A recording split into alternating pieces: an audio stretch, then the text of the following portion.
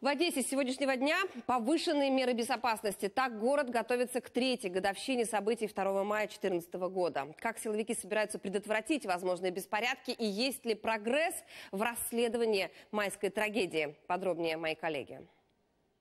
Одесская полиция отчитывается о ходе расследования майской трагедии, а у журналистов дежавю. Как и год назад звучат все те же общие фразы. Следственно-оперативная группа обновлена, назначены дополнительные экспертизы. С начала года о подозрении объявлено четверым.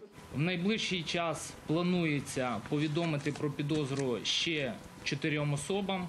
Журналисты негодуют, дескать, мало конкретики. До сих пор непонятно, что же три года назад произошло в Доме профсоюзов, где во время пожара погибли 42 человека. Начальник областной полиции парирует тайна следствия. За три месяца 2017 года сделано больше, чем за весь 2016 год, извините. И есть реальные подозры и люди в розыске. Мы будем задерживать этих людей.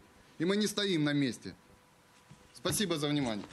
Общественники, которые контролируют дело 2 мая, такими ответами недовольны. Впрочем, признают, ничего удивительного. С самого начала следствие велось словно специально, чтобы уничтожить важные улики и завести расследование в тупик. Это не просто халатность, уверены активисты.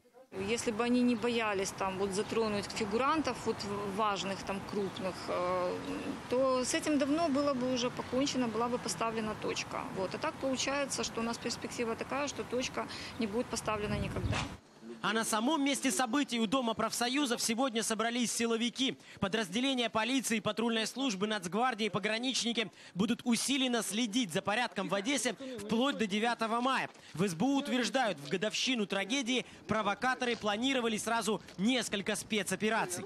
Шляхом проведення якихось флешмобів, демонстрацій. Ми вжили вичерпних заходів задля того, щоб е, такі акції не відбулися. По прогнозам, желающие помянуть погибших придут сюда же, на Куликово поле. Удастся ли им возложить цветы – вопрос. В прошлом году, например, площадь была почти целый день закрыта из-за сообщения о минировании. Впрочем, задача номер один сейчас не допустить столкновений между идеологическими противниками, которые наверняка сойдутся в этом месте.